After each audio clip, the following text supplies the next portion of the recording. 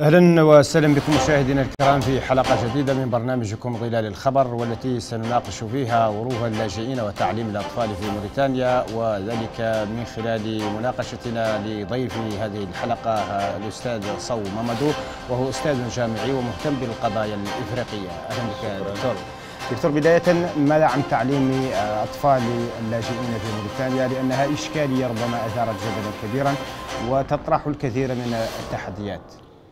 بسم الله الرحمن الرحيم. على أي بالنسبة لتعليم الأطفال أطفال اللاجئين هي كتعليم الأطفال الموريتانيين لأن التعليم حق.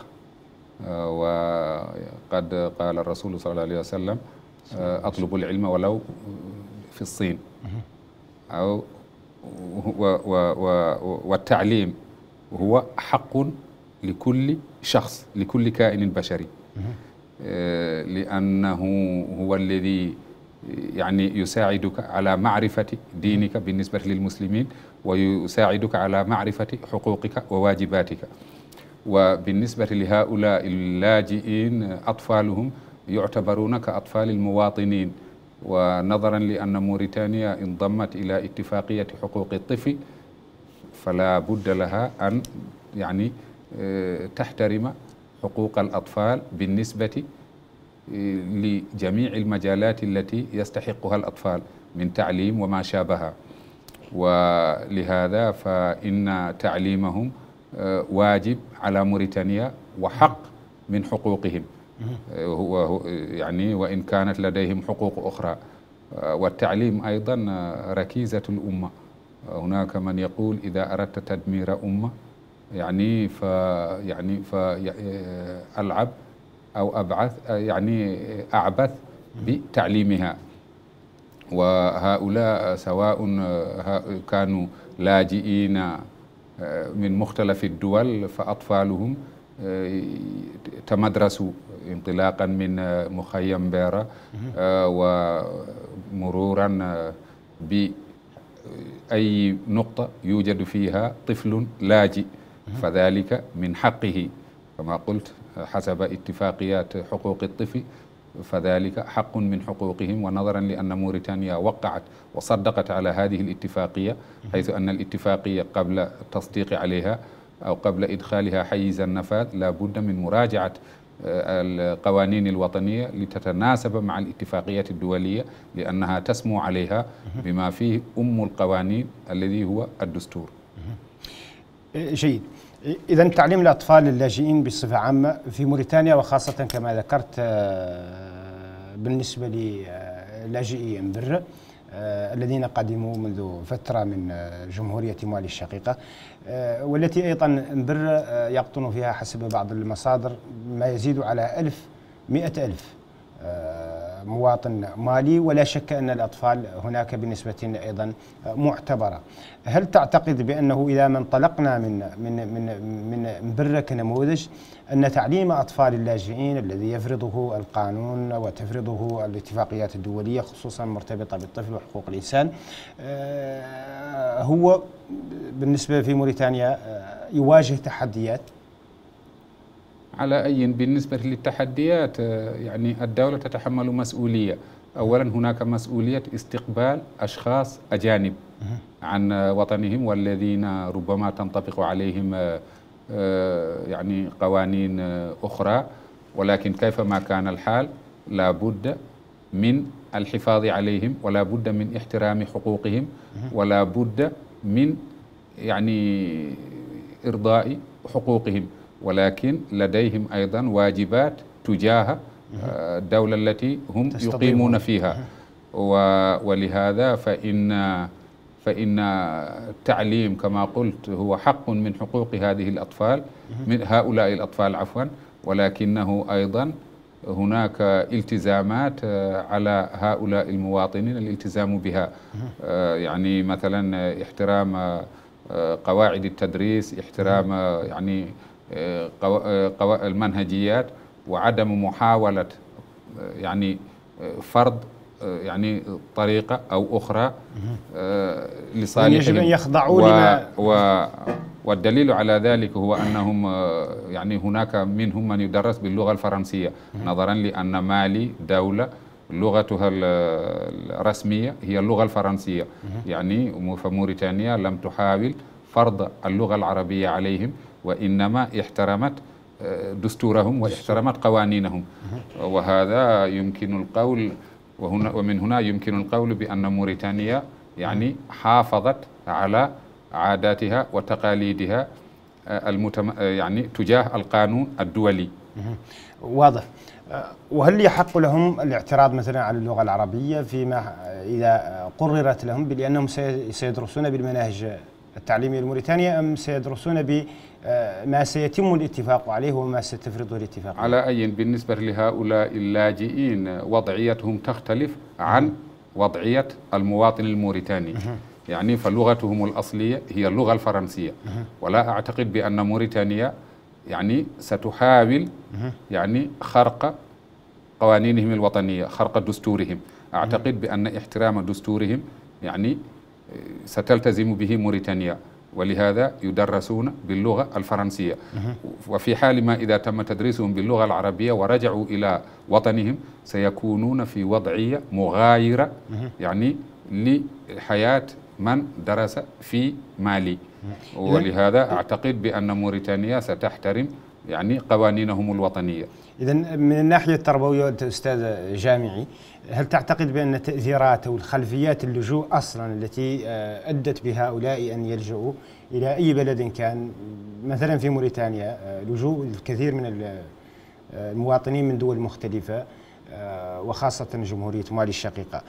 الأسباب أصلا أسباب اللجوء والإكراهات التي يواجهها اللاجئ والتحديات التي تواجهه كلاجئ وتواجه البلد المستضيف. هل هذا سيؤثر على نفسية أطفال هؤلاء؟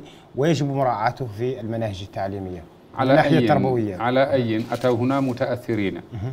قبل أن يصلوا موريتانيا غادروا بيوتهم متأثرين لأن كل أسرة أتت إلا وتركت خلفها أقارب وتركت خلفها منزلها. يعني هم أتوا متأثرين. وهذا التأثير ربما يصاحبهم حتى يرجعوا إلى أوطانهم. ولكن أعتقد بأن هذه بأنه من الوهلة الأولى. يعني سيحاولون يعني التعايش مع البيئة التي هم فيها. لابد أن يتنازلوا أو أن يتخلوا عن بعض العادات والتقاليد.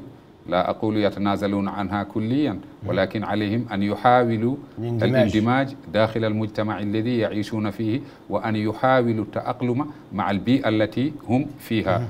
ولكن كيفما كان الحال أعتقد آه، بأن هناك آه، يعني أشياء تترك لهم. من حيث العادات من حيث التقاليد آه، من حيث يعني القوانين المنطبقة عليهم. في جمهور في في في بلدانهم سواء كانت مالي أو دول أخرى. لأن اللاجئين في موريتانيا ليسوا ماليين فقط بل هناك جنسيات مختلفة آه، يعني وجنسيات متعددة آه، لاجئة في موريتانيا. ولكن كيفما كان الحال فيجب الأخذ بخصوصيات كل مجتمع على حدة أو كل يعني آه، طائفة وكل مجموعة أتت من بلد إلى موريت إلى من بلد آخر إلى موريتانيا. ولهذا أعتقد بأن مناهج التدريس هذه تحترم خصوصيات كل بلد كل بلد. فهناك بلدان ناطقة باللغة الفرنسية وهناك بلدان ناطقة باللغة العربية. وهاتان وهاتان اللغتان هما المعترفتان بهما على الأقل من حيث التدريس. وإن كانت هناك اللغة الإنجليزية تدرس إلا أنه في الإدارات نستعمل اللغة العربية واللغة الفرنسية واللغة الإنجليزية لا تستعمل في الإدارات ولهذا آه، ربما آه، نظرا لأن اللغة الإنجليزية أيضا تدرس في المدارس فبالنسبة للأطفال القادمين من الدول الأنجلوساكسونية آه، ربما يجدون يعني وسيلة للتمدرس. للتمدرس. طبعا ربما تثير إشكالية اللاجئين إشكالية أخرى وهي مهمة. خصوصا لكم في في مجال التعليم ومجال البحث هي إشكالية التأثير والتأثر لأن هؤلاء ليسوا لم يأتوا من فراغ هم أتوا من ثقافات مختلفة من بيئات مختلفة بيئات تكوين معينة ويريدون الاندماج في مجتمع آخر أي المجتمع الموريتاني.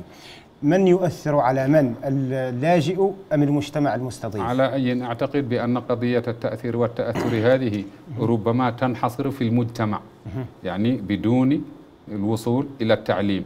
آه، لأن التعليم كما قلنا فهو فهي قضية محسومة. أما تأثيرهم على المجتمع أو تأثيرهم في المجتمع ربما يتأثرون بالمجتمع أكثر مما يؤثرون. نظرا لعددهم القليل بالمقارنة مع مع المجتمع. فلا أعتقد بأن المجتمع يحاول يعني إرضاءهم اجتماعيا بل عليهم أن يحاولوا التأقلم مع المجتمع. ودليل على ذلك أنهم في بعض المرات غالبا حينما يكون الشخص داخل دولة أجنبية إلا وتعلم لغتها. لأسباب عدة. لا بد له من الناحية الاجتماعية أن يجد طريقا يتفاهم بها مع المجتمع. فهناك من يتكلم الفرنسية وهناك من يتكلم من يحاول هناك من يتكلم بالعربية وهناك من يتكلم بالإنجليزية. ولكن ليس ليست عامة الشعب من يتكلم باللغات الحية. ولهذا فلا بد لهم من محاولة التعلم. ولو بعض المصطلحات يعني باللهجات المحلية أو اللغات المحلية. وهذا نلاحظه آه، لدى بعض منهم آه، مثلا آه، حينما يكونون مضطرين للتفاهم مع الشخص لابد من أن يحاولوا يعني معرفة بعض المصطلحات كما هو الحال بالنسبة حتى لرعايا دول أخرى داخل الدول. حينما يأتون إلى هذه الدول لابد من تعلم لغاتهم. ليست الدولة هي التي تتعلم لغتك بل أنت الذي تتعلم لغتهم لتتمكن من التعايش معهم. كما ينبغي. إذا طبعا التعليم تعليم أطفال اللاجئين دائما ما يقودنا إلى إشكاليات مهمة وهي آه، إشكالية الاندماج الثقافي. مثلا أطفال هؤلاء اللاجئين غدا هم آه، رجال المستقبل سواء آه، كانوا جزءا من المجتمع الموريتاني من حيث التنشئة ومن حيث التعليم أو كانوا مثلا حاملي ثقافة موريتانيا في حالة العودة إلى بلدانهم الأصلية. ماذا عن الاندماج الثقافي خصوصا لأطفال اللاجئين وللاجئين بصفة عامة؟ على أي بالنسبة لي بالنسبة لي لهؤلاء اللاجئين وضعيتهم ربما تختلف عن الشخص الذي غادر بلاده طوعا إلى دولة أخرى. يعني رأينا هناك رأينا أن هناك دول تستقبل مجموعات طلابية لكي تؤثر عليها حينما يكونون في مناصب عليا يعني تحاول التفاهم معهم. ولكن بالنسبة لهؤلاء اللاجئين فوضعيتهم تختلف لأنهم لم يأتوا أولا بمحض إرادتهم ثم ثانيا لم يأتوا للتفكير في التأثير أو التأثر بل أتوا فقط للجوء داخل هذا البلد أو داخل بلد آخر. وإنما همهم الأساسي هو متى الرجوع غدا إلى أرض الوطن؟ وحينما يرجعون إلى أرض الوطن يحاولون يعني إعادة حياتهم الطبيعية التي كانوا عليها. ولكن بالنسبة للبعثات يعني الأكاديمية التي تسافر إلى بلدان أخرى وترجع آه، لتشغل مناصب هامة فهؤلاء هم الذين يمكن الحديث عنهم في قضية التعامل مع البلد الذين درسوا فيه. ولهذا فنجد العديد من الدول آه، تستقبل آه، يعني بعثات من دول أخرى. نفس الشيء بالنسبة لفرنسا مع مستعمراتها وبعض البلدان مع مستعمراتها أو بعض الدول الجوار. يعني تستقبل بعثات طلابية. وفي نهاية المطاف قد يجدون على الأقل عددا قليلا. قد يعني تكون تأثرت بهم في حال ما إذا شغلت مناصب هامة يكون هناك تعاون أو آه، يعني تبادل يعني التبادل في بعض المجالات التي قد تساعد يعني على تطوير أو تنمية العلاقات الدبلوماسية بين البلدين. بالنسبة لي للتأثير دائما خصوصا فيما يسمى بالتأثير الثقافي هل تعتقد بأن هؤلاء اللاجئين قد يكونون مثلا سفراء للثقافة الموريتانية مستقبلا؟ لأن هؤلاء ليسوا لاجئين فقط وإنما هم يحملون مشاريع ثقافية يحملون مشاريع آه، بالنسبة لطموحاتهم الشخصية منهم الفنانين منهم الرسامين منهم آه، الموسيقيين منهم مثلا لديهم جوانب أخرى آه، يشتغلون فيها في قد تؤثر على المجتمع. فعلا الموريتاني أو قد يشكل اندماجهم اندماجهم في المجتمع الموريتاني خصوصا في المكونات الثقافية. عامل تقوية أو تعزيز مثلا سواء في الموسيقى وما إلى ذلك. إلى أي يمكن أن يؤثر هؤلاء في مثلا تشكيل فسيفساء من الثقافات المختلفة؟ على أي هؤلاء بالنسبة ك ك بالنسبة لي يمكن أن تكون هناك روابط شخصية أو روابط خصوصية. يعني بدون التأثير بصفة عامة. فإذا ما نظرنا إلى وضعيتهم يمكن لهم آه، يعني ربط بعض العلاقات مع بعض الشخصيات. ولكن آه، الذهاب إلى درجة التأثير شخصيا لا أعتقد ذلك.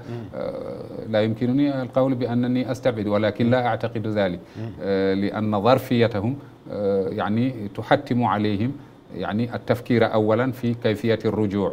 آه، يعني هناك من يحاول آه، حقا هناك من سيحاول الاندماج لأنه متى تم الاندماج داخل مجتمع قد يسهل لك ذلك.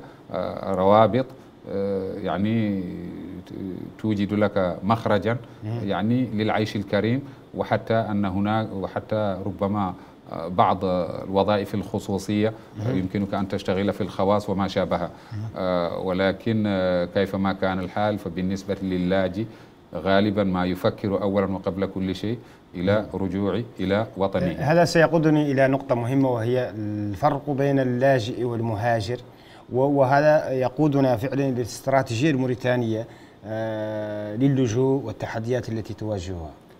على أي بالنسبة للاجئين يمكن القول بأنهم يعني آه، هنا آه، أشخاص غادروا دولهم آه، لأسباب سياسية لأسباب سياسية ويلتجئون إلى دول أخرى. أما بالنسبة للمهاجرين يمكن القول بأن يعني جميع بأن جميع الدول حاليا تعرف مهاجرين إلى بلدان أخرى ويستقبلون مهاجرين.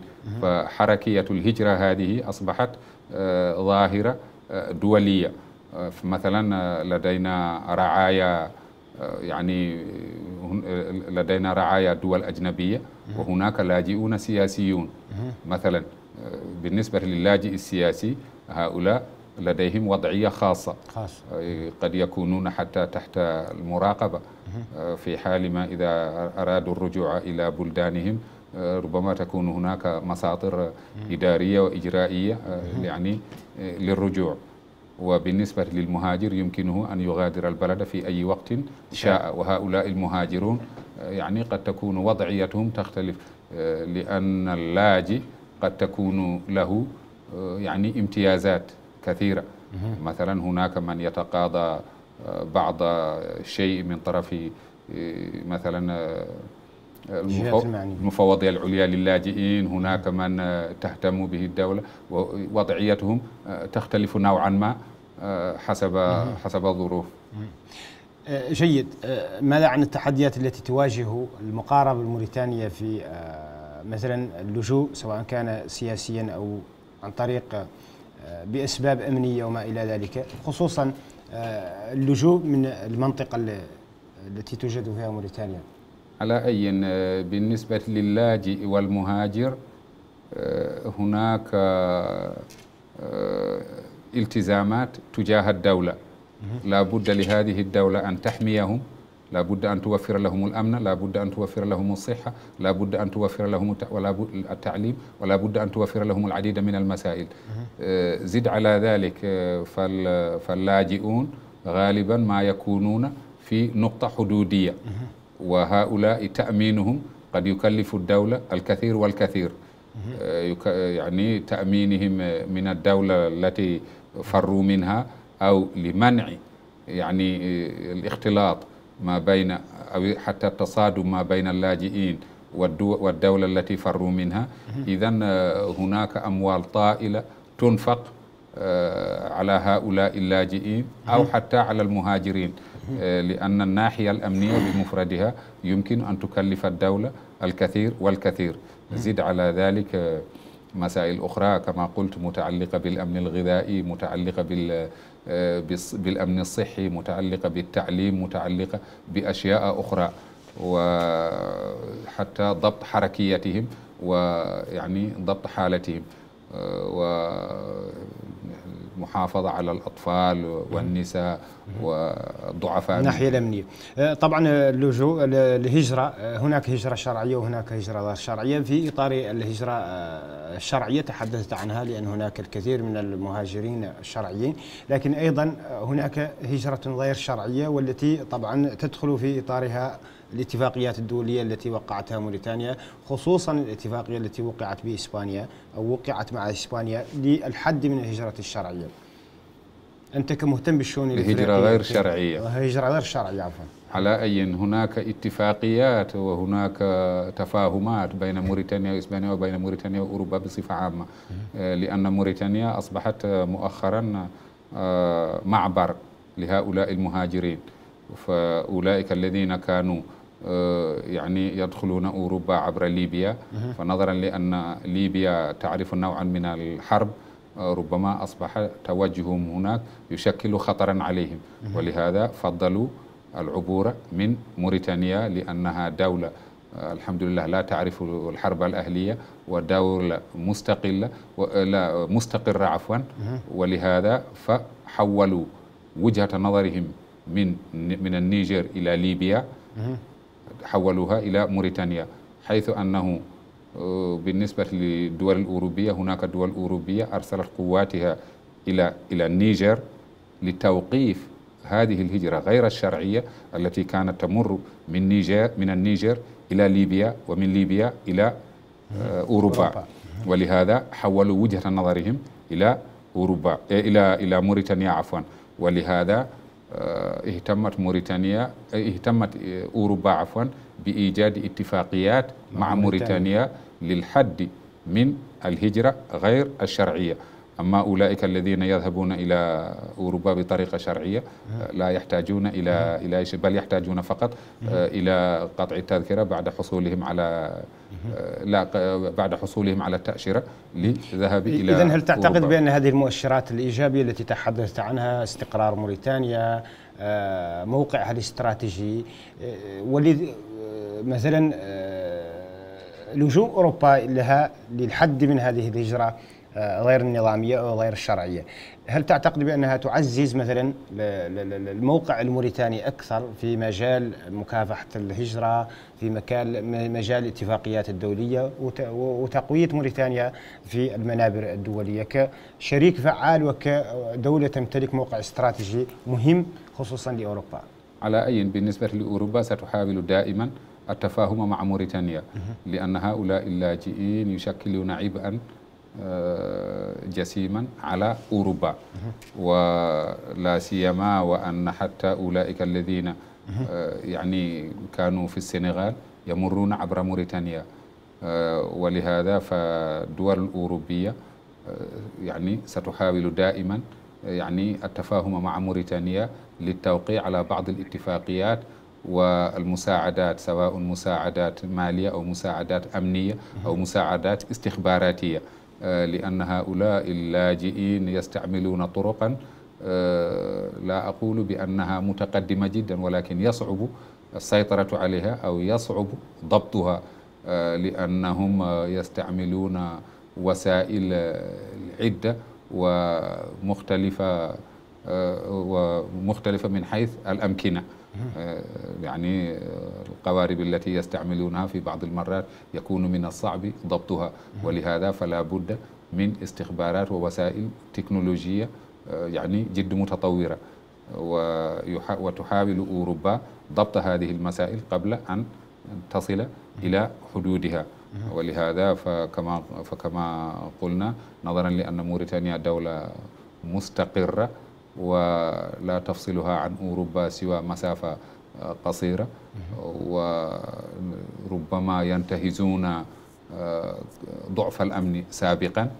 ويعني ملائمة الجو. أو لا أدري ماذا كان يعني لا يمكنني حصر كل ما يستغلونه. واضح الوقت بدأ ولكن هناك سؤال أخير. هل تعتقد بأن للاجئين بصفة عامة في موريتانيا دور في التنمية خصوصا ان اللجوء دائما ما تصاحبه أيضا لجوء على بالنسبة لهؤلاء اللاجئين هناك لاجئون يحصلون على يعني على مساعدات مالية.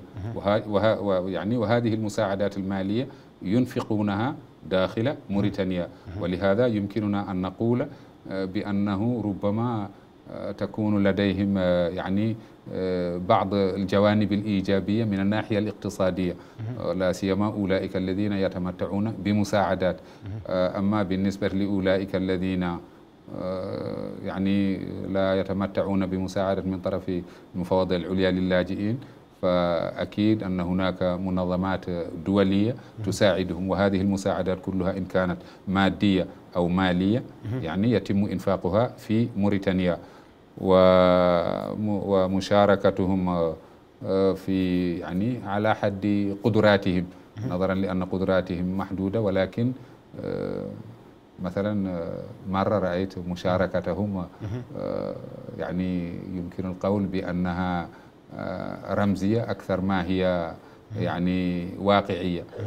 أطفأوا الحرائق. وقد إلا أنه قد يسببون أيضا ضررا بالنسبة للبيئة في بعض المرات.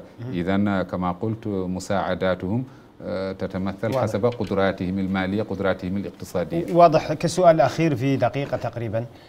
هل تعتقد بأن الأوضاع التي تمر بها منطقة الساحل والصحراء والتي موريتانيا طبعا تشكل بوابة لأوروبا نحو إفريقيا. السوداء بصفة عامة هل تعتقد أن الظروف الأمنية أساسا كانت عاملا لتزايد أو تنامي ظاهرة اللجوء؟